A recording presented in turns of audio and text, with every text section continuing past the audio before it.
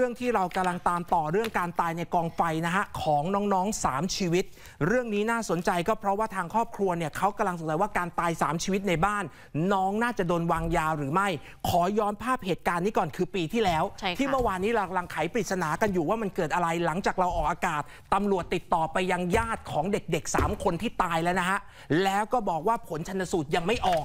ย้อนภาพกลับไปที่บ้านไฟไหม้ก่อนฮะคุณผู้ชมครับ เรื่องราวเนี้ยที่มันน่าสนใจและที่เราตามเนี่ยก็เพราะว่าผมย้อนคดีอย่างนี้เผื่อใครไม่ได้ตามนะฮะเรื่องปริศนาเด็กตาย 3 คนในกองไฟ แล้วญาติเชื่อว่าบ้านหลังนี้น่าจะมีการวางยากันเกิดขึ้น ในบ้านเนี่ยถามว่าคนตายทั้ง 3 คนเนี่ยคุณผู้ชมครับสองคนนอนอยู่ในห้องเดียวกันเขาเป็นญาติกันหมดเลยนะฮะสองคนก็คือเด็กชายพรมมนทนกับทางด้านนายอนุวัฒน์อายุ 18 ปี อีกคนนึงเนี่ยเข้าใจว่ากำลังจะวิ่งออกมา แล้วปรากฏว่าตายตรงทางเดิน ใน3ศพนี้บ้านที่เกิดเหตุมีคนอยู่ประมาณสัก 7-8 คน คุณผู้ชมครับ คำถามก็คือเด็กวัยรุ่น 7-8 คนเนี่ยทำไมไม่มีการปลุกให้ตื่น เพราะมันมีพยานบอกว่าพยายามจะปลุกเด็กสองคนก็คือที่นอนห้องเดียวกัน พรหมมนทนกับอนุวัตรปรากฏว่าไม่ตื่นนะฮะเขาก็เลยสงสัยว่านี่มันมีการวางยากันมาก่อนหรือไม่ ด้วยความเคารพนะ นี่คือโฉมหน้าในบ้านที่รอดชีวิตฮะแต่ขออนุญาตเบลอหน้า เพราะเราเองก็ต้องติดตาม แล้วไม่ได้ว่าพวกเขา เพราะวันนี้หลังจากเกิดเรื่องนี้ช่อง 8 ไปติดตามคดีนี้ตำรวจเพิ่งโทรไปหาญาติคนตายนะฮะวันนี้เลยหลังจากเราออกอากาศไปเนี่ยนะฮะปรากฏว่าวันนี้คุณผู้ชมครับ เราได้คุยกับหนึ่งคนที่อยู่ในบ้านสำคัญมากนะฮะเพราะเราก็ต้องการรู้ว่าเอางี้เพื่อความเป็นธรรม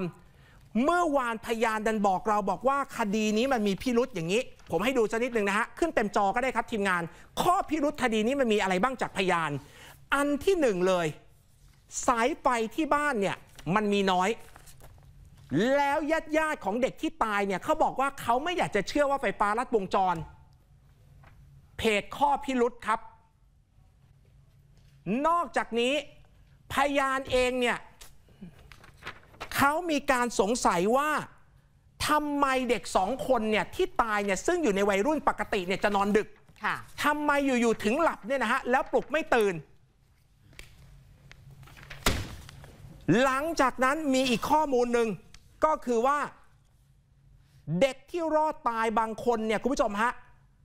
เหมือนกับว่าไม่ได้เหมือนกับสำลักควันไฟอืม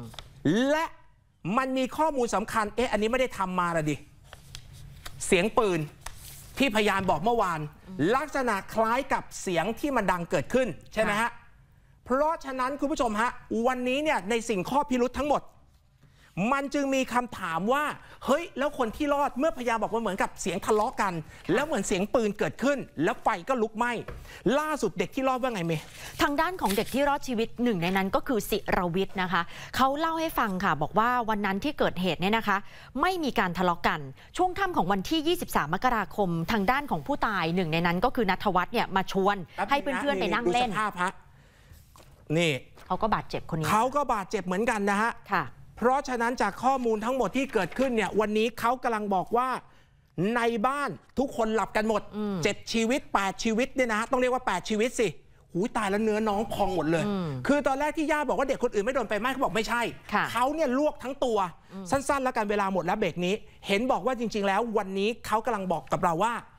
ก่อนที่บอกว่าจะปลุกไม่ตื่น พวกนี้กินเหล้าอืมพวกนี้กินเหล้าค่ะเพราะฉะนั้นคดีนี้น่าจะชัดบางอย่างแล้วนะฮะเอาฟังเสียงเด็กรอดตายเลยฮะ มาตอนมาชวนไปนั่งเล่นครับเจ็ดแปดคนได้ครับเจ็ดแปดคนทุกคนรู้จักกันหมดเลยรู้จักหมดครับเพื่อนนั่งเปิดฟังเพลงกันครับมีการทำกับข้าวอะไรอย่างนี้ไหมที่บ้าน มีที่คนตายเขาหุงข้าวกินกันครับ เพราะว่าเขาไปงานวัดกันมาไปซื้อของกินมา แล้วช่วงนั้นคือเราเข้านอนกันประมาณกี่ทุ่มอะคะผมไม่รู้ว่าผมเข้ามานอนก่อนครับประมาณเที่ยงคืนเที่ยงคืนกว่าๆครับหลังจาก